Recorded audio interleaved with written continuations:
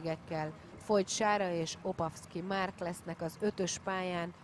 A magyar Farah Fojt in the front of the Hungarian boat, of course, is a former uh, under 23 world champion, so uh, she's very, very fast. But as we get underway, watch the poles in lane three. They are the form team. Both of these paddlers have won two gold medals already this week, so they are going out fast too.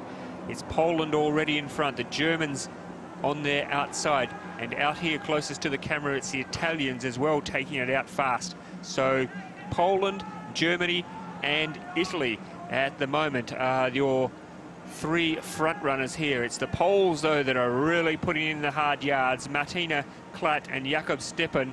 They're going for their third gold medal of the World Championships, which would be a phenomenal performance for these young Polish paddlers. It's Klatt and Stepan from Poland. It's the Germans, Lant and Bush.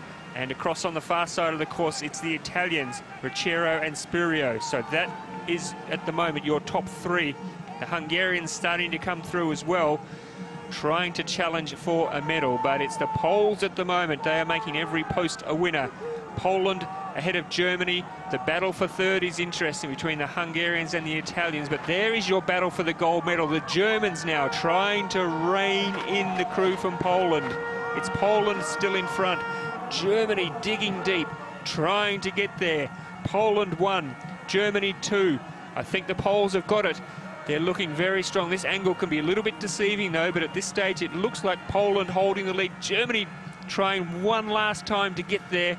Poland holding on the Germans, throwing everything at them now. It's Poland, it's Germany, it's Poland just ahead of Germany. The Hungarians coming through for the bronze medal. But there you go, Poland. There is a third gold medal for these two young paddlers. Martyna Klatt and Jakub Stepun, they've won gold in K4, they've won gold in K2, and now they've teamed up together to win mixed gold as well. What a fantastic week they've had. They sure have had an amazing week. I know at the European Champs, Poland were top of the medal table at the Junior and Under 23 European Championships, and they are performing at such a high level here at these World Championships also. Um, the Germans, though, they really put it up to them, and it was a great race to watch between those two crews, and then Hungary coming home in third position, so claiming the bronze medal.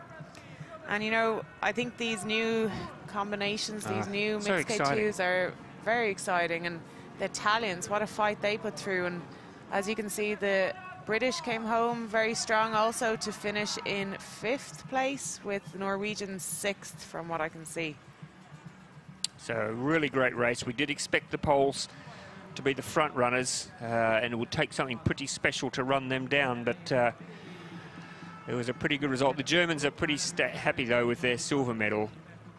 And Martyna Klatt, I said to her yesterday, I said by the time this week's finished I will have you speaking perfect English. And uh, so she was very excited about that challenge that I'd set for her. And I said to her, you've got 24 hours now to think of some great things to say to me. Uh, so we'll see if she comes up with the goods a little bit later on today. But there is the confirmation there with the Polish crew taking the gold medal. I think that is gold medal number six